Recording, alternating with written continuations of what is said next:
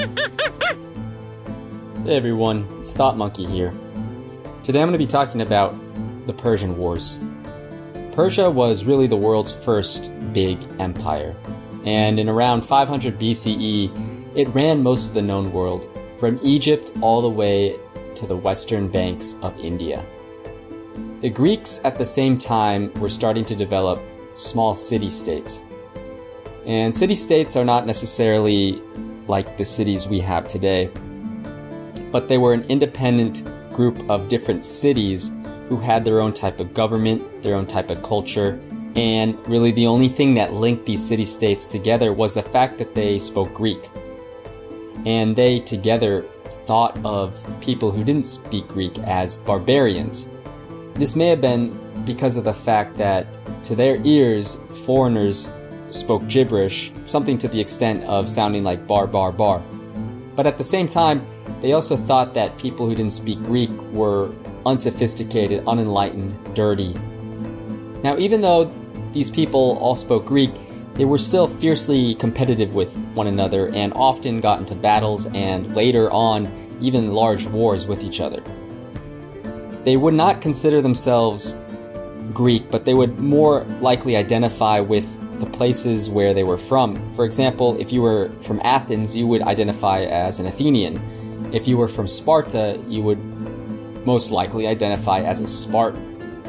In the 540s, Cyrus the Great, who was the emperor of Persia, took over a Greek colony in Ionia, where modern day Turkey is, and the Greeks there were encouraged to rebel by the Greeks in Athens. In the 490s BCE, Darius, who was the son of Cyrus the Great, decides to invade Athens as a punishment for the rebellion that they caused in Ionia. However, they lost at the Battle of Marathon. Xerxes, the son of Darius, decides that he wants to take revenge on the Greeks after their loss at Marathon and takes a force of 250,000 Persian soldiers to Greece, 10,000 of which are immortals, which are basically a special unit of military cavalry that is specially trained to fight to their death.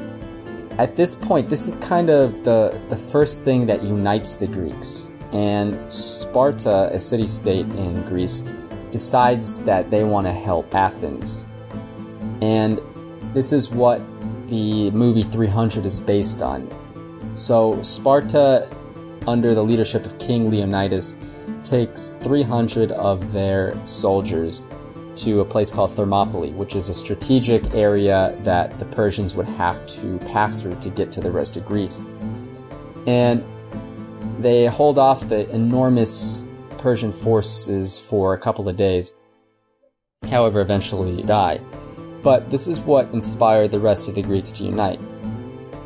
A Greek politician named Themistocles was able to convince the people of Athens to evacuate to an island as bait for Xerxes' navy, who would have to travel through a tight channel where the rest of the Greeks would be waiting to attack. And it was there that the Persian fleets were destroyed, and Xerxes, angered by this as he was watching atop a mountain, decides to invade once again two years later with a land force. However, this land force was also destroyed by the Greeks.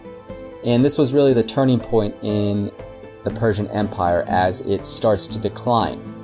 The Greeks, who finally united due to this war with the Persians, would also descend into a civil war soon after the battles with Persia ended. What I like about this story is the themes that it shed lights on. The theme of prejudice, of the Greeks thinking they're better than the Persians because of the fact that they speak Greek and they consider the Persians uneducated, unsophisticated. The theme that smaller enemies will unite against a bigger enemy given enough reason to. And the fact that the Greeks used trickery to defeat a bigger foe.